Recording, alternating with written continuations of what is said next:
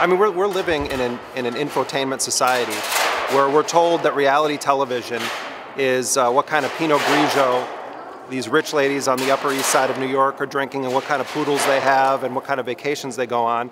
And we hear almost nothing about the consequences of these wars that are waged under both Republicans and Democrats. Well, wh why is that? Well, part of it is because members of Congress are bought and sold by corporations, and part of it is because we have a media culture in this country uh, that defines reality television as the most absurd, unrealistic situations in life and totally ignores reality. So, you know, at a time when we have incredible media consolidation, when there's fewer and fewer media options, it's essential that we defend independent media. And in some way, all of us have to become journalists.